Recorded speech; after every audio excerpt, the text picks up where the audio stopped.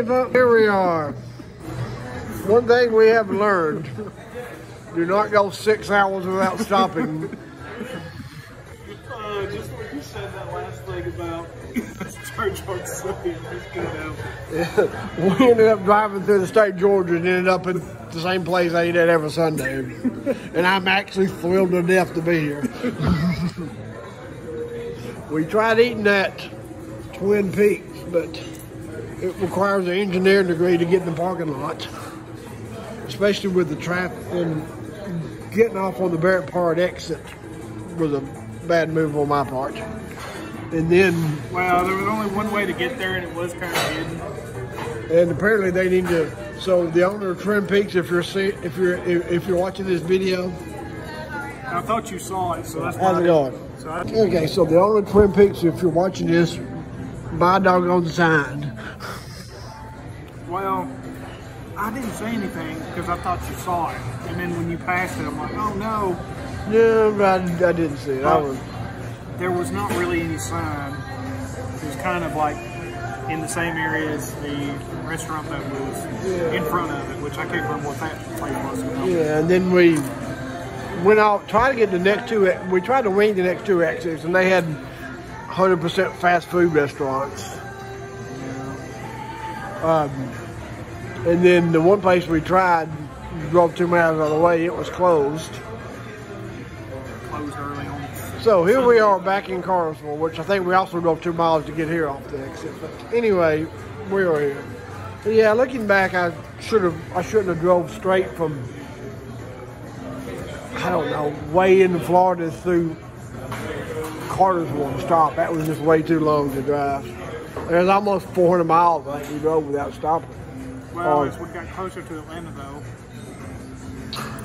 we were thinking we could, We was trying to get through Atlanta, so we had a good strategy. especially since he told me of a game that was going on, and five, well, and I forgot it was Sunday, so I guess five o'clock traffic wouldn't. And we didn't want to eat too early because at that point it was like three or four o'clock, and it was too kind of, you know.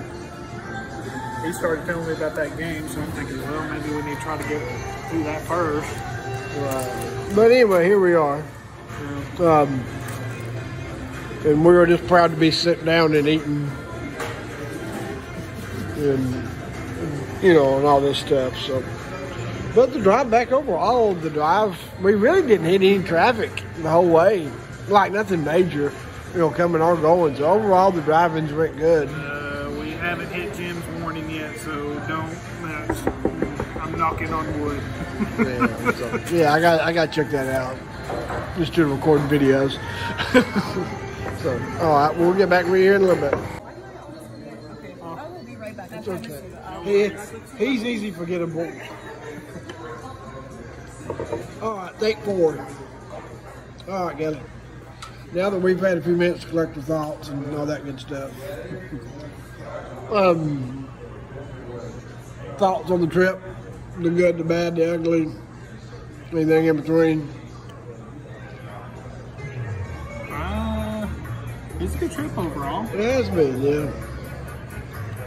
Forgot about the pool stuff staying open until later. So I wish I would have done more of that now, late at night. Because very last night I went up there from like 8.30 to 10 and there was like nobody there. I think I fell asleep about nine o'clock last night. Pool all to myself versus earlier that day where I couldn't even find a chair on both pool decks anywhere. So it's like, Oh, you talking about on the ship? well, I was trying to go, I was trying to, I figured like everybody would be at the Harry Van contest, so I figured I'd go to the other pool, you know, just kind of hang out for a while. But I get there, it's like there was no chairs at all. So I figured, well, let me try to go back a little later. And of course, when I went at 8 or 8.30, wasn't a soul in the pool because everybody was downstairs watching the shows and everything. So it kind of worked out, but I, I didn't realize that they were open till midnight. The pool was open till midnight or something. Hey, she remembered. Hi. Thank you. Kind of worked out. Yep. Well, what's um? So one person said, "How can you swim when it's that cold outside, how can you swim in that pool? I'm like, well, I did it in Alaska, so if I can do it in Alaska, should be a breeze when you're in the Caribbean. What were some of your positives overall for the trip?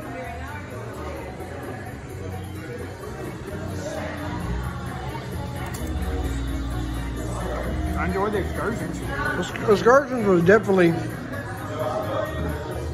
definitely awesome. On the on the excursion front, the one thing that I regret, I don't know if I've said it on camera or not, was I should have booked an excursion in San Juan. I had to. My ideal thing was I was kind of wanted a day to rest and relax and get caught up on that, but I ended up not resting and relaxing. And I just kind of didn't get a whole lot accomplished. So I should have took the credit I had and booked an excursion, even though it wouldn't have been as fun as the, the other two we booked. It would have still been something to do and something to look forward to. So I think going forward, I will always book an excursion on every port, unless it's like a free beach day type thing, like like Grand. I mean, like unless it's a one where you just get to go to the beach for free, like Grand Turk. If there's a beach near the ship, Yeah, that's That- different that there. work for me. But I, I'm either going to do an excursion or I'm going to do a like a beach. 'Cause I was happy with uh, the beach. Oh yeah, Gr- um, I would have to wheel Brandon out of the uh, dining room the very last night of cruise. yeah, the um, I guess on day seven it all just kind of got to the point where I just couldn't eat anymore. I had to turn rice shrimp. Wax Museum that we went to was fun. It was fun, yeah. It was cool. I, I, I knew you would like that one. I, I did. I did one of those before, and I knew that would be right up your wheelhouse. We saw an interesting Pirates Cove uh, golf course in the Ripley's Believe It or Not. We didn't get a chance to do it. Yeah, there were some things to do there. I think the, the I don't know, we're gonna have to talk about what to do next time. But like, oh yeah, like there were things to do, but it was a combination of the Georgia game and then me being tired and sort of. I kind of wish I would have had more time, but then the time that I did have, I didn't. Um, okay, dinner is here, so I guess we will come back and finish this up. Freaking little Mexican lady comes on. All right, You- you're right, ahead, hold it. Can you see me? You got numbers on the top. Uh, you're counting down. Okay. Um, this day's been kind of like you would expect with me and Kelly driving 600 miles. That big picture, nothing's really happened. We just, we're just kind of eager to get home. Um, and I've restarted this video ending so much I forgot where I was where we started from. But um, um, This is retake uh, nine or ten or somewhere in there. Let's see here. But um, highlights for me, as Carnival, the food's always consistent. Um, no, no, of course, which we probably talked about half half the video. He'll be proposing to her on the Yep. next cruise. All I say about no, no is I'd let her check my oil.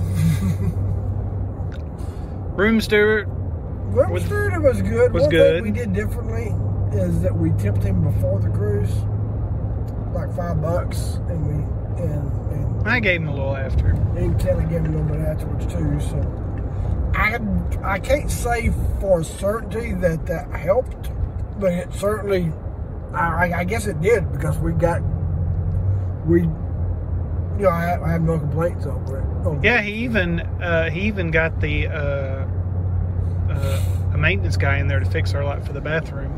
Oh, the was that the toilet thing?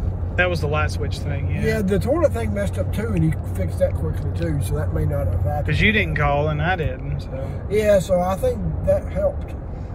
And uh, oh, and the head waiter did argue with Mr. Brandon Davis. The head waiter, we got to about day Well, he did it nicely though, but still. Yeah, we got to about day four, and we hadn't had any luck with finding. Oh, waiters! The first night the waiter was friendly. I, I would say the first night he was friendly, but but like I guess we were. I was kind of spoiled with Renderland last trip, Yeah, that was probably a and factor. um, and for day four, I was like, these waiters aren't really friendly. They weren't like rude. They they actually served us quickly. But I was like, I kind of want somebody that's he missed that. He missed that personal connection. Yeah, and then so I said, you know, you got any like friend who's a friendly like like waiter you can like give us? And he said all of our waiters are waiters are all friendly. I was like, And just kind of walked away and didn't really I- say anything I- else. I- did I can't remember if I said some are friendlier than others, but I think I did. But he just kind of walked away like it was the end of the conversation and it's like, now I don't know Carnival's policy on that, but I do know Home Depot's, and that's the customer's always right and you never argue. So maybe Carnival's a little more more lenient on that. Doug or Brandon, if you're watching, you could probably answer this question, but just uh, most Home Depot employees that would have been a write up, but you know, like I said, but it's like But anyway. Overall, we have no, com- you know, that's the only complaint I have from the dining room standpoint. It's like you can, I mean, like any argument, whether it's a friendly argument or not, is still disagreeing with a customer. And where I work, that's just a big no no. But, uh, no, no. nah. Uh, yeah, I guess I You know, just, you know, I, I guess I'm not going to be able to say anything that's not going to remind him of her. I, I, I consider myself, I know this will be a surprise to my family, good God almighty, a pretty emotionless, heartless kind of guy, you know. but hearing, Take that as you will. but hearing the, I'm the, hearing the signature, I'm, you're leaving on a fun ship song to close that dining room, and then 45 minutes later, hearing No No close out the cruise with Whitney Houston's I Will Always Love You. Somebody started cutting onions up in here. He lost it. Yeah, so which you've probably already heard the that video part of that, but well, only 17 seconds of that. I'm leaving on the jet plane part because I forgot to hit record. um, Yeah, we've we've done this like at least five times already. So exactly. Um, any other uh, Orlando stay was museum was fun. it, it was good. I would um, I think it was a little tricky just from the fact that I was tired and full in the Georgia game and blah blah blah. But We did see a uh, Ripley's Believe It or Not that I was in that I thought looked interesting, and then a Pirates Cove miniature golf course Yeah. that was very big and very detailed. I mean, it was detailed enough to make you curious about But, it. I yeah, mean, it was, it there's was definitely def- not like a rinky-dink Yeah. operation. I mean, there's definitely several things you can do to waste time getting off on Saturday without having to do the theme park type stuff. I enjoyed what we did. Like I said, the museum, Wax Museum, was a lot of fun. Hadn't done anything like that before. Yeah, I, I, I think in general, I think I would, I would do that again. Oh, definitely. You know, just you know, because you're getting off on Saturday and you're already there. You know, my, I'd probably bump up the hotel a little bit more, but I even, but I did love the location for the hotel. And then there was the little side detour before we started on the road. What you talking about, brother? we found a uh, shop uh, in tribute to one of our old school favorites growing up, a Mr. Hulk What you gonna do in these pythons that are running around on you? So we we walked in, and the very first thing we see, see is a life-size Jimmy Hart doll, and then TVs on every wall. One showing like an old WrestleMania video versus Hogan and The Rock, and another one showing No Holds Barred versus I don't know if you wrestling fans will probably remember that starring Zeus and Hulk Hogan, but and just tons of memorabilia. Those was really cool. It's one of those stores that you can't really don't really want to buy nothing other than something small, but really cool to look. Which is kind of how every store we went into in Orlando was. Really cool to look, but too expensive to buy anything of Tons of sleeping socks. Hint, hint. Stocking gifts, anybody? Um, Hint, hint. um, yeah, uh, that's uh, many other. They had they had a million dollar belt. some other. I, there's Costed four hundred bucks. the fun staff was good.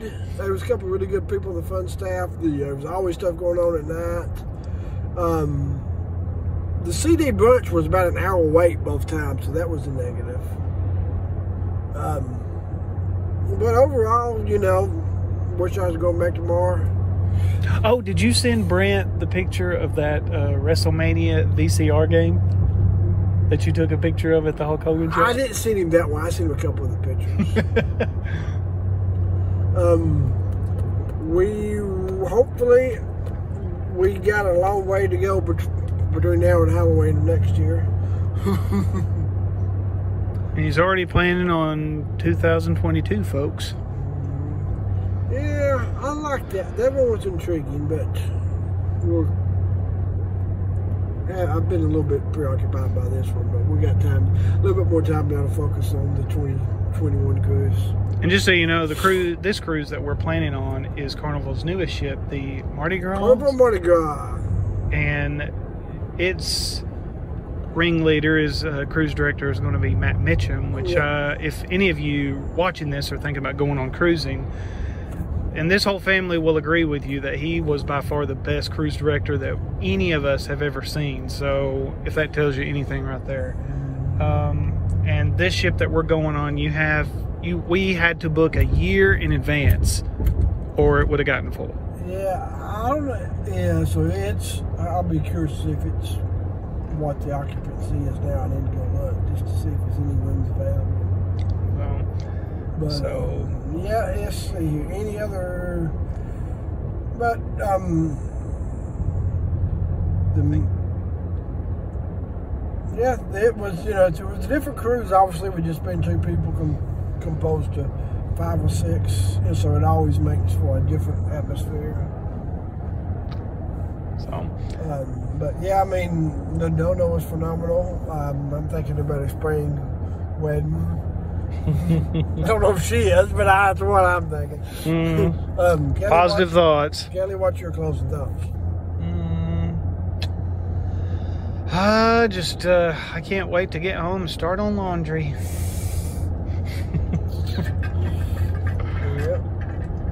Um, I hear one of Kelly's six water bottles making noises down there. I just filled it up with water from the restaurant. Thank you. So, right, well, I guess that's. At least I haven't been thirsty in this trip and uh, drinking water instead of Coke or energy drinks, uh, or unlike some people in this car. I will admit, I wish I had your bladder. but um, anyway, I think anybody's bladder would turn to mush drinking energy drinks. Um, I haven't even had an injury done today. Now think about it. Um, so yeah, that's we're, we're signing off. Um, I don't want to go. I think I don't want to go. I think I want to go jump in the river. Apparently, the GPS is thinking the same thing because it's got had him going in the water at least four or five times this trip already. Yep. All right, But, uh, we'll, we probably rambled on for two hours, so we'll we'll See you next time. We'll. Same big pimping time, same big pimping channel.